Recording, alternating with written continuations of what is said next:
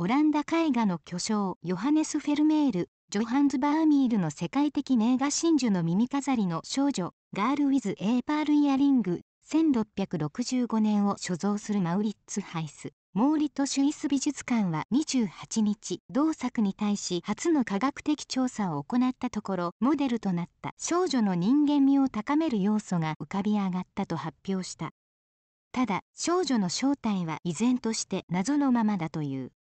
同館によると国際科学者チームが2018年2月から実施している調査により少女の目の周りには肉眼では見えない小さなまつげが描かれていることや一見何もない背景に緑色のカーテンが存在していたことが判明した。カーテン部分は折り重なった布地のようになっており数世紀の間に黒く色あせたとみられる。同館によると調査では非進重ね性のイメージングやスキャン技術デジタル顕微鏡法塗料サンプル分析法を使用。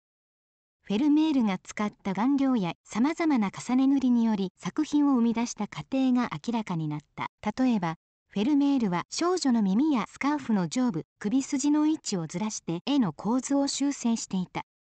世界各地の原料も使い群青色を作り出すために17世紀当時金よりも貴重だったアフガニスタン産のラピスラズリ瑠璃を使っていた。一方魔獣自体は錯覚であり白い顔料の半透明で不透明なタッチにより描かれ耳飾りのフックは描かれていないという。